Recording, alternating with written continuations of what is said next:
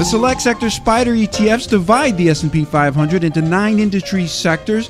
You can overweight or underweight any industry sector that you want to own and create a customized portfolio that suits your investment outlook.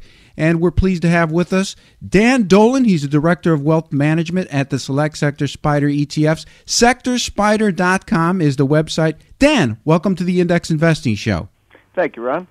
Let's begin with uh, talking about the breadth and the broadness of the stock market's rally. We've got all nine industry sectors of the S&P 500 not just posting positive year-to-date performance, but all are up double digits.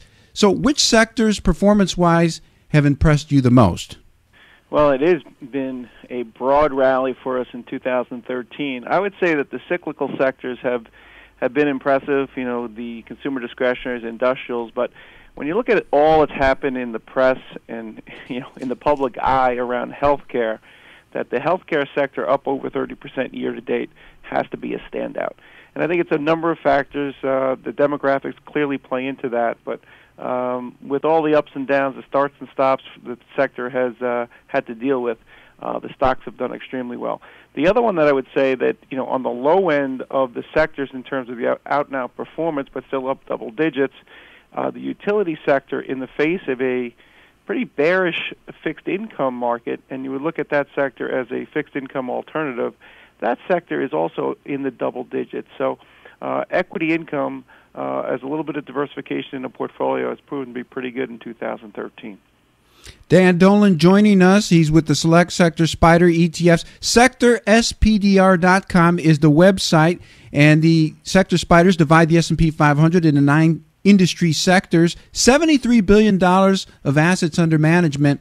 Now, going back to the website, SectorSPDR.com, under investment strategy on the navigation bar, it covers tax planning strategies, I think, that make a lot of sense, especially as 2013 comes to an end. Now, let's just talk about one particular strategy taking losses in an individual stock and maintaining exposure sector exposure with the corresponding sector spider ETF that follows that same sector that the stock belongs to. Can you maybe give us an example of how this would work?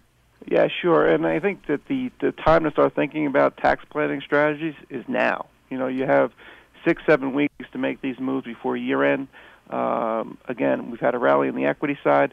Some pieces of the market haven't done as well, whether it's emerging markets, fixed income, some commodity related products. So whatever you're thinking, it's time to do it now. What you're referring to here is is really just making a very smart tax trade. I think that the the biggest fear people have when they you know go to sell a losing position is that the day I sell it, the moment I sell it, it's going to trade up. What we know with ETFs is that the, the portfolios are transparent, so you know what makes up the portfolio.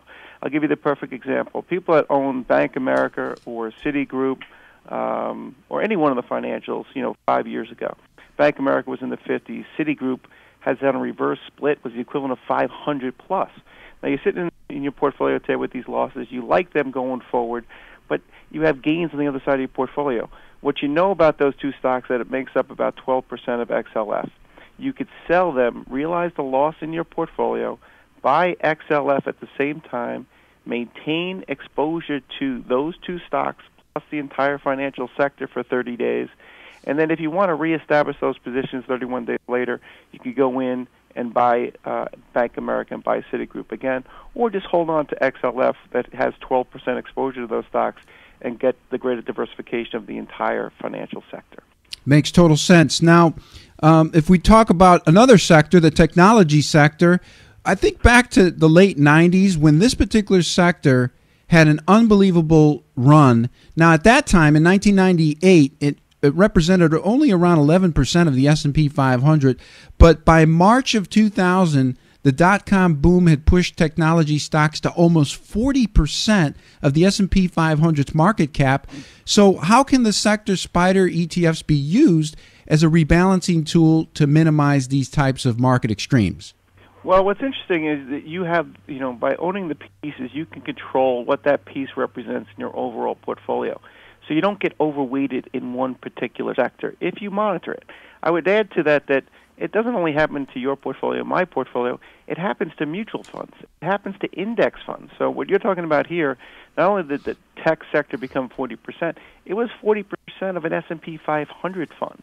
And when that fund, you know, when the sector crashed, as you mentioned, 2000, 2001, 2002, that you were overexposed to that sector. So owning the pieces, knowing what you own, regularly rebalancing to a reasonable level will minimize your risk and exposure to that particular sector. What we've seen over the years is that when big sectors get overdone, that's what causes market corrections and for the market to correct hard. So monitor those sector exposures, know where you are, and you have the ability to weight your portfolio to meet your own objective.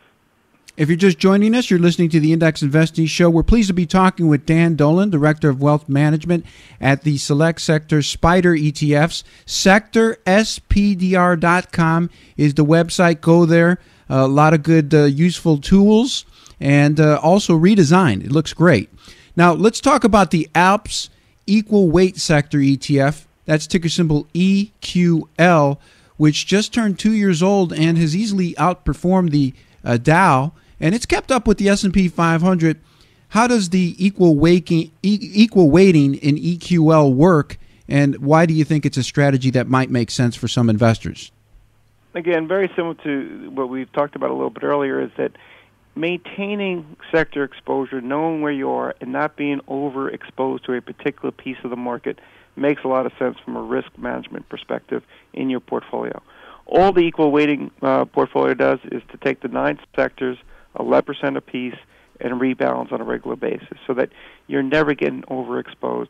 As I mentioned earlier, the tech sector in the early in 2000, the financial sector in 2007, 2008 became the largest piece of the market, was up to 35, 40% of the S&P 500. Guess what happens when that corrects?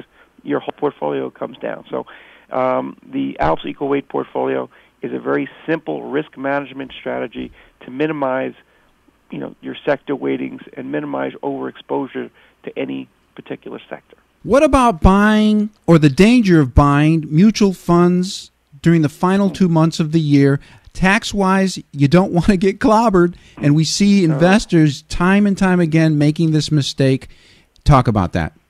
You know, it, it, it's it's like you said, it happens all the time, and in the mutual fund world, pretty much October 31st, uh, everyone knows or has a handle on what the distributions will look like between now and year end.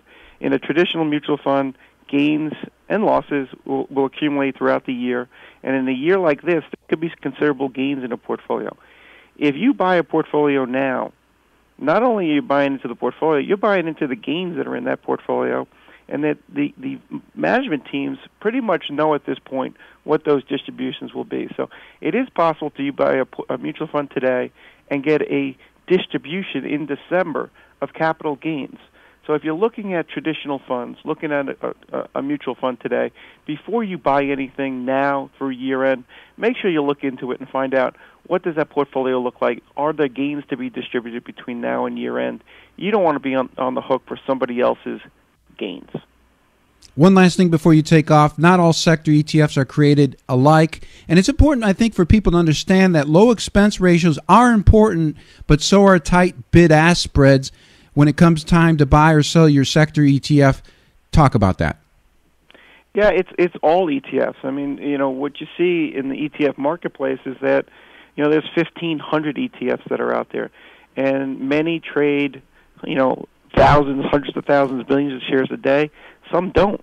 And what you find in any security that trades is that when you see greater volume, you tend to have tighter spreads. So the difference between where you can buy it and where you can sell it, the bid offer spread. So um, if there's a few pennies between where you can sell it and where you can buy it, you know, if you turn around and sell it, you're going to be, you know, you're going to receive less money when you sell it. So you want to find the most liquid securities you can find, find the ones with the tightest spreads, and minimize your overall cost. You can find them. There are there are you know hundreds of ETFs that trade with penny wide spreads uh, in the marketplace today.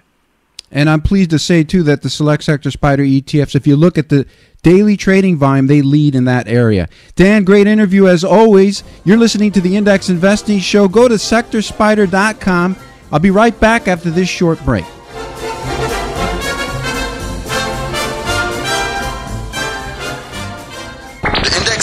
Show with Ron DeLegge.